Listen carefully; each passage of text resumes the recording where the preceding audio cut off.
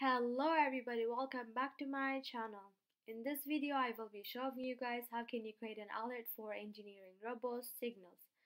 The first step that you're going to be doing is go to TradingView and pick whichever the coin that you wanted to create an alert for.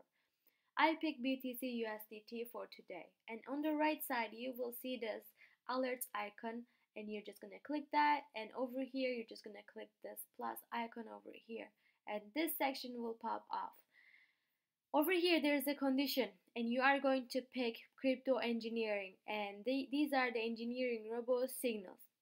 Let's say that you wanted to create an alert for buy two and you're just gonna pick buy two and options you are going to pick once per bar close that means we wanted to make sure that the candle has closed. And over here we have expiration time with basic membership, it's valid for two months, and with the premium membership, you can do it forever. If you have the premium membership, you can just close open ended if you want to. But let's say that I wanted to pick for expiration time and I want to I want this alert to expire expire on November the 13th. And over here we have alert actions.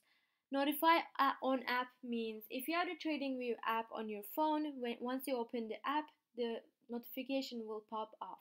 And show pop off means once you go once you go to TradingView on your computer, the notification will pop off. And send email mean, means they are going to be sending an email for the notification. And we have webhook URL. That means it's an advanced feature that you can receive alerts such as Telegram account. And over here we have a message section. Let's say that we created an alert for buy two signal, okay? And I wanted to name it. I wanted to write in here that buy two signal for one day, the ticker is going to be BTC USDT.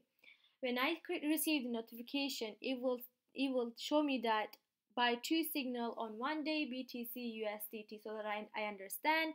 I created an alert for this uh, for this coin and I am receiving a notification about it.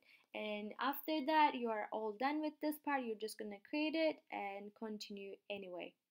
And when you will see that you created an alert for BTC USDT over here you will see that it's active. If you wanted to remove it you can just click that. There are settings.